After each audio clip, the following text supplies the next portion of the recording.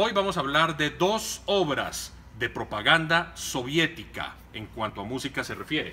Se trata de la cantata al vigésimo aniversario de la Revolución de Octubre de Sergei Prokofiev y la otra obra se llama El sol brilla sobre nuestra tierra patria de Dmitri Shostakovich. Esta es una versión del sello Melodía en asocio con el sello discográfico Angel Records, que después se convirtió en EMI.